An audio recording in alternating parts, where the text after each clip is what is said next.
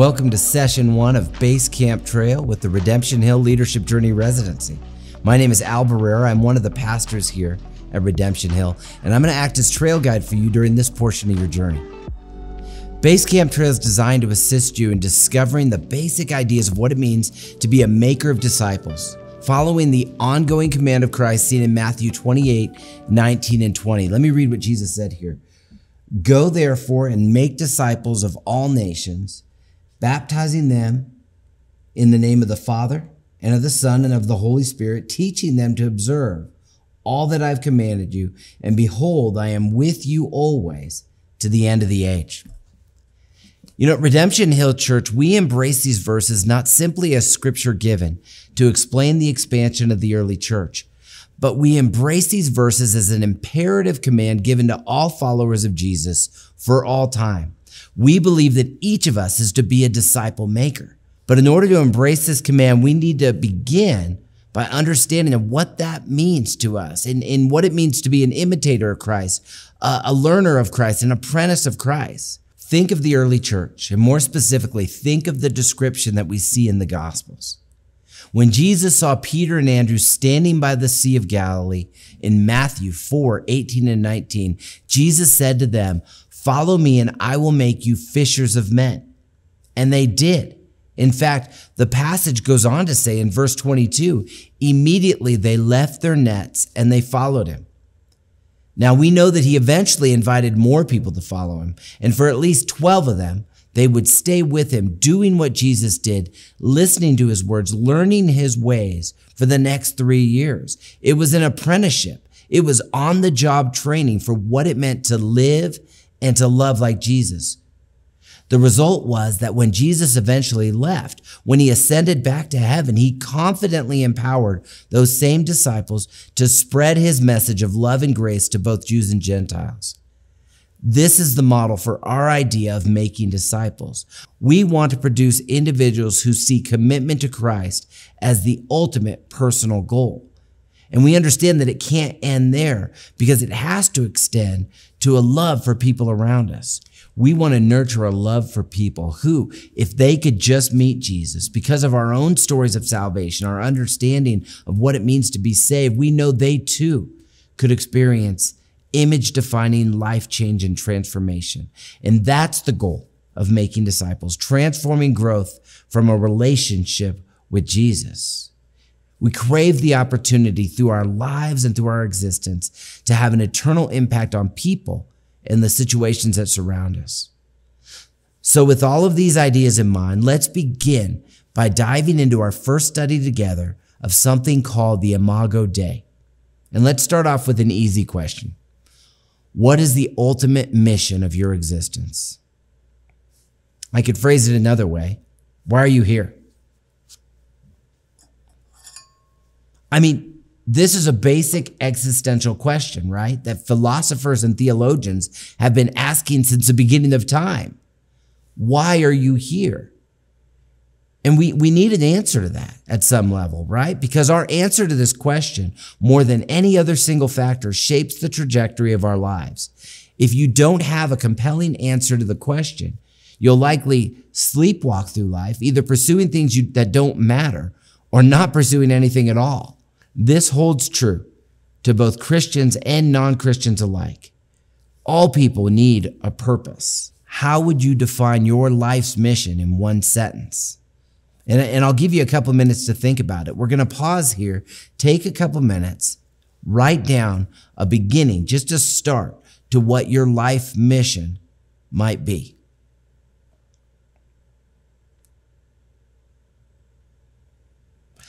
So for me, I defined it in this way, and this is definitely a work in progress. Here it is. I want my life to inspire people to give Jesus more than a passing thought and for God to be glorified because I joyfully existed on this earth. You know, since this is such a big question with so many implications for our lives, it's important that we ask a more foundational question, isn't it? What does God say about my life's mission? As Christians, we believe that God is the author of all created things. We also believe that because he created all things, he has the right to define the purpose of his creation. In his kindness, he's given us scripture that allows us clarity in this matter. And in Psalm 139, 14 and 15, the psalmist describes part of the purpose in this way. I praise you, for I am fearfully and wonderfully made. Wonderful are your works. My soul knows it very well. The God who made you, the one who created all that is and all that ever will be, knit you together in a specific way to showcase his glory. He made you fearfully. This means he took great care. He was thoughtful that you were designed in just the right will to fulfill your purpose according to his will. He made you wonderfully. He took time to shape you in a way in which you could live as a unique reflection of his creativity and power. Your created design, our created design, informs everything about our life's mission. Since we are fearfully and wonderfully made, we are to take care to use our lives to their fullest potential, maximizing our individual abilities, our gifts, our relationships to best address opportunities that God has given us. And this returns to a basic idea with significant ramification. Everyone is created in the image of God, regardless of gender, race, ethnicity, disability, socioeconomic standing, any other factor. Through the years, writers and thinkers have attempted to summarize exactly what it means to be created in God's image. Obviously, the image of God, that Latin term, imago Dei, doesn't mean that people physically look like God, like a, a child who has the same physical attributes as a certain parent. Instead, think about it this way. Being created in the image of God allows a certain relational capacity that allows people to know and relate to God in a different way than other parts of God's creation. Um, a houseplant, a dog, or a cat does not live in an existence of self awareness in the same way that humans might. So, the nature of the Imago Dei may be more than a certain trait that humans possess. It likely also includes an action to which men and women are called. As image bearers, we are all meant to reflect God's countenance, his personality, his character of love and grace and mercy. Not only can we relate to him in unique ways because we are created in his image, but our mutual relationship is meant to allow us to reflect him in the world around us. Think about it this way. In ancient times, kings would often erect statues of themselves scattered around the kingdom to remind people of his presence. And this was purposeful. He wanted to remind everyone, including conquered lands and tribes, of who was in charge, who was in power. He also set these statues in place to remind people of who was there to protect them from less benevolent rulers. Yes, the statues were set in place as a reminder of authority, but also as a reminder of care, protection, and relationship. God sets up representative image bearers throughout his world today to remind the world of the true king, of his true character, of his greatness, of his love, of his mercy. And we are reminders of a king who desires relationship. Now, at first glance, it may seem that bearing God's image is impossible. Human sin means that men and women are incapable of representing God as proper image bearers. All people are born in the state of sin, and as a result, are cracked reflections of the image of God. I mean, think about Romans 3:23, right? For all have sinned and fall short of the glory of God. But as we remember where we were in sin, we cannot forget who we are now because of the righteous character and the righteous sacrifice of Jesus. For all have sinned and fall short of the glory of God and are justified by his grace as a gift through the redemption that is in Christ Jesus, whom God put forward as a propitiation, as a substitutionary sacrifice by his blood to be received by faith. You see, apart from the grace of God, we would be trapped between the mission we're meant to pursue and our inability to do that very thing.